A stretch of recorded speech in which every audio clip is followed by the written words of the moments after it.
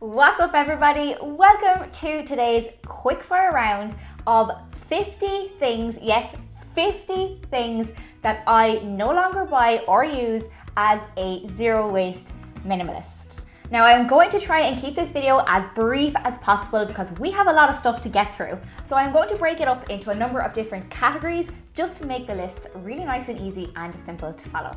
Now, don't forget to let me know in the comment section down below what are some of the things that you have stopped buying on your sustainability journey. And with that said, if you like the video, please don't forget to give it a big thumbs up. Please don't forget to hit subscribe.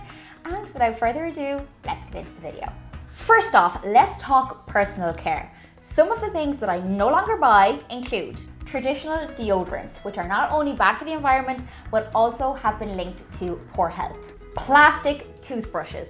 Thousands of plastic toothbrushes per year end up in landfill, and hey, if we can have one less toothbrush going to landfill, then that is a win for me. Bottled shampoo, conditioner, and body wash. This is one of the simplest swaps to make, and if you haven't seen my video on Ethique, then I would check that video out for my review on zero waste hair care.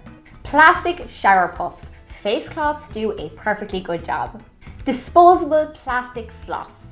Teavra floss is a compostable vegan solution. Makeup items beyond the essential. I have a really simple makeup bag. It literally consists of just the things that you see ahead of you here and it has happily done my face for the day today. So do I need more than what I have? Absolutely not. Traditional nail varnishes, very bad for the environment in themselves and also nail varnish remover can be really, really harmful to the environment. Popular cleansing lotions.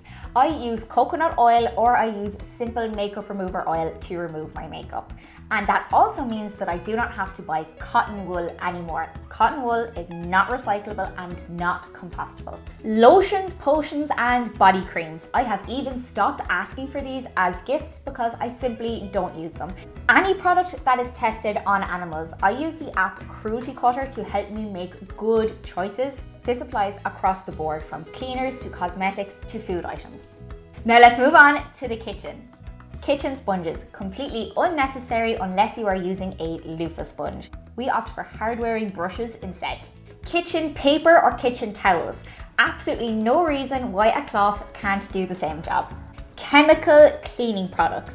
Again, this applies across the board, not only in the kitchen, but also in the bathroom and general areas of the house. Vinegar works really well and stay tuned for my video on zero waste cleaning products, the natural way. Plastic wrap, one of the banes of my life. Beeswax wraps, lunch boxes work brilliantly for leftover food storage. Disinfectant wipes, probably one of the most commonly used single-use items. No go in our house. Washing powder. We no longer use traditional detergent. If you've missed my video on how to make your own washing powder, I will leave a link to that in the description box below and also in a card above my head.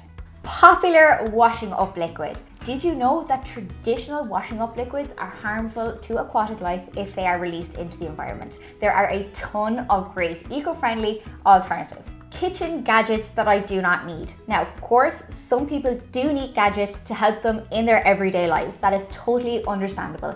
Moving on to food shopping. Groceries, one of my absolute favorite things but a really wasteful space if you don't know the tricks to look out for. So the first thing that I avoid when food shopping is plastic bags. No, no, bring your own.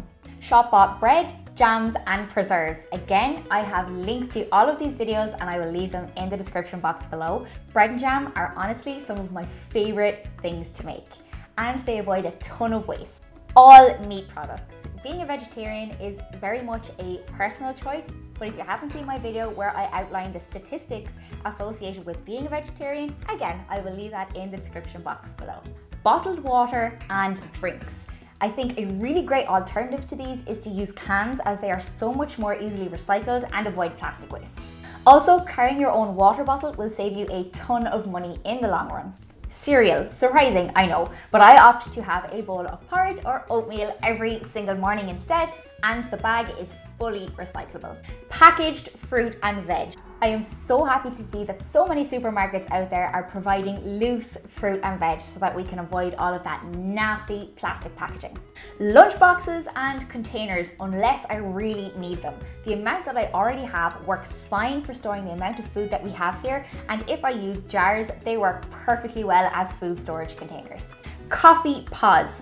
Probably one of the best investments we ever made was to buy a good coffee machine that allows us to turn beans into ground coffee granules. This works brilliant because I personally love to use the leftover granules, A, by putting them in the compost bin, or B, using them as a lovely, luxurious coffee scrub.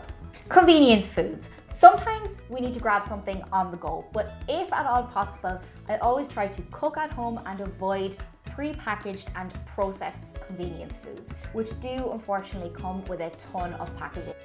Next, clothing. We all love clothes, but the problem is the fast fashion industry is causing us a ton of problems today. So one of the easiest things that you can actually stop buying is pajamas. Realistically, you probably need one or two pairs in your life. Tote bags. Once you have one or two totes in your life, you really don't need any more, although some of them are really, really cute. Unnecessary clothing. I might buy one or two new outfits per year if I have a big event coming up, but for the most part, I thrift or I upcycle what I currently own. Gym gear beyond your essentials. Now, as somebody who loves to go to the gym, I know this one can be tough, but you do not need 14 different outfits for your weekly gym sessions. Accessories, bags, hats, shoes, belts. What I buy, I use again and again, and I make sure that they are super functional, and that helps me to maintain a minimalist wardrobe. Next up, luxury items. Yes, those luxuries, which I do still enjoy, I just enjoy them in a different way. The first one being takeaway coffee. I do not buy coffee that comes in a takeaway cup anymore. Quick service lunch. Again, sometimes we need this, but if at all possible, I will bring my own lunch because this avoids any of the unnecessary packaging that's associated with not eating in a restaurant. Plastic cutlery. It sounds a bit strange, but it is really easy to pop a stainless steel set of cutlery into your handbag or your bag so that you have them all the time. Jewellery. If you've been following my channel for a while, then you've probably noticed that I wear the exact same jewellery in every single video. This watch really gets its wear. Have a couple of really good quality pieces in your collection that will stand you the test of time. The latest gadgets. Now maybe I'm lucky that I'm not super techy anyway, but I do not rush out to buy the latest gadgets. Candles. I used to be somebody who absolutely adored burning candles.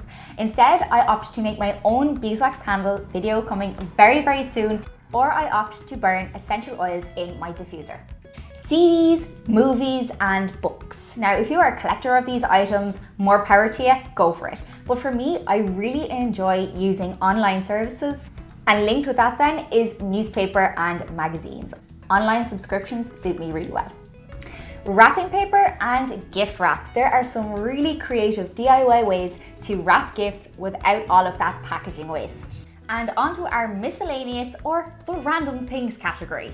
Balloons, poppers, confetti, party items. No, no. They are the epitome of single-use items. And that links with disposable party items like paper plates, paper cutlery, sashes. No, beer that is sold with a plastic ring attached. It's really easy to buy cans of beer in boxes or even to buy bottles instead. Plush teddy bears. I feel like the collection that I have now represents a time in my life where I absolutely loved to collect these things and now that's perfectly fine to stay as it is. Free stuff. Who doesn't love free stuff? But at the end of the day, you're just bringing more waste into your home souvenirs, things that you will forget about in five years from that holiday. But what will you still have? You will still have memories and you will still have tons of pictures. Instead of buying loads of souvenirs, spend that money on an extra holiday experience. Stationery, notebooks, pens, the whole shebang. I absolutely adore cute stationery, but unfortunately, I only tend to use one or two pages, and so now I don't buy them anymore. All right, everybody, that brings me to the end of my 50 things that I no longer buy as a zero waste minimalist. I find that these things have really made a difference to my life, not only in the amount of stuff that I own, but also in keeping a clutter-free space and ensuring that I no longer contribute to environmental waste. If you like the video, please don't forget to give it a big thumbs up. Please don't forget to hit subscribe and let me know in the comments section, has this inspired you to stop buying anything? Thank you so much for watching and I look forward to seeing you in my next video. Bye!